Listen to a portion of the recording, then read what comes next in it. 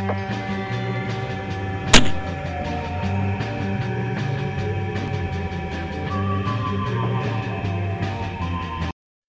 guys! If you watch my channel, you know that I do a lot of work for my local library. A little while ago, they were planning an event, and they asked me to build a beanbag toss game for the little kids. The project uses basic carpentry and a little bit of paint, but kids seem to enjoy it a lot. And all the techniques are applicable to any kind of painted sign or things like that. First thing you need to do is sketch out a design. I use the free program SketchUp, but of course a pencil and paper works okay. My design is a kind of an open book with flaming gobs of awesomeness blowing out of it. You can make these into faces or animals or anything, but make it have bright colors, because the kids like that. Once I had my basic shape, I got a sheet of half inch plywood and I started rough cutting it with my circular saw.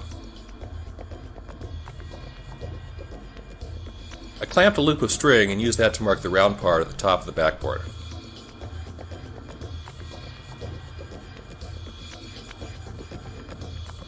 Then I cut it with a jigsaw.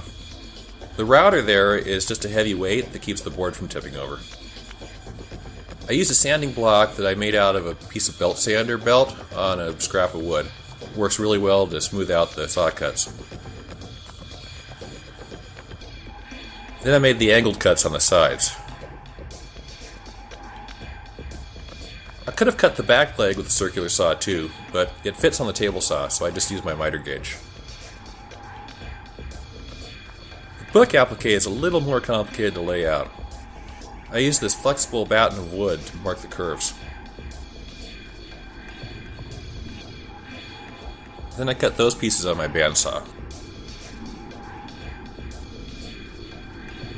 The applique is actually two layers of plywood, but once you cut out the first piece, you can trace around it to cut the second. I glued the two layers together and used some pieces of tape to hold them together while it dried. There's lots of different ways to cut the beanbag holes. I just marked them with a compass and freehand cut them with my router.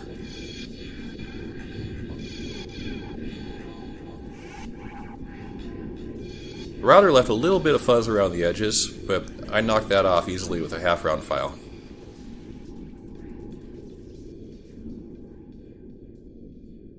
By this point, the glue had dried on the applique, so I put that in the vise and used some hand tools to smooth out the edges.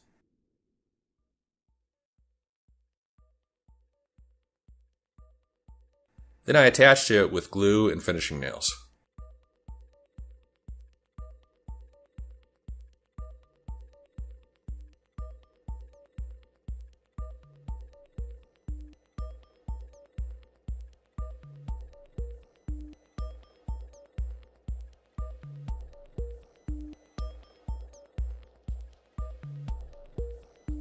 I put the back leg on the piece with a piece of piano hinge. It's easier to install this kind of screw if you start the holes with an awl.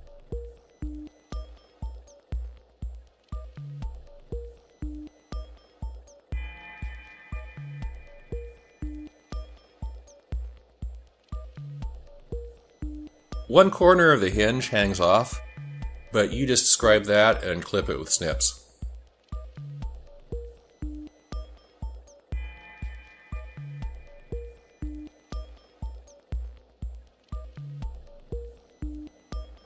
The screws that came with it were a little too long for the board, but my belt sander took care of that. And this plywood was pre-sanded, so it only needed a little bit of touch-up before it was ready to paint. I'm painting this with a gloss enamel over a PVA primer. They're both water-based, and like most water-based house paint, you can easily tint them with a few drops of acrylic craft paint.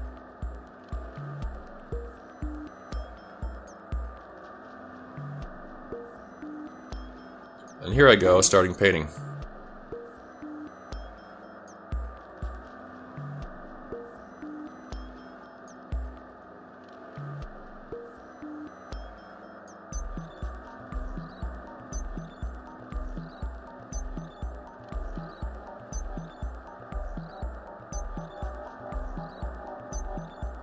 The last piece I made was the library logo.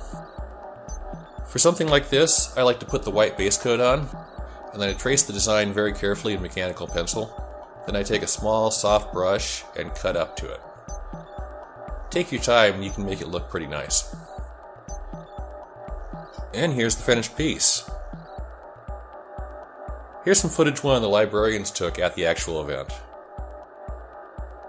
Okay, put it back over here. Oh, you want to try it? All right. All right. Now the little boy wants to try it. What's his name? Roman. Roman. Roman, stand here. Roman, stand there. Yeah. And.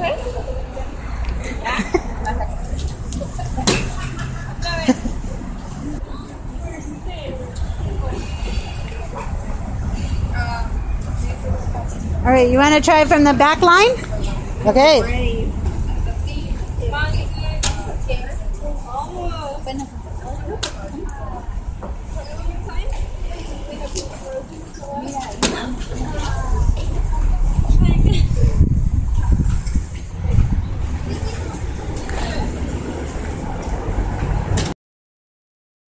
And then the other day when I was at the library, I saw they actually had it set up at the front door.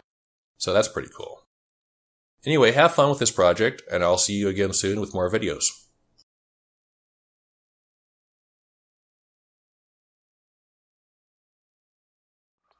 Thank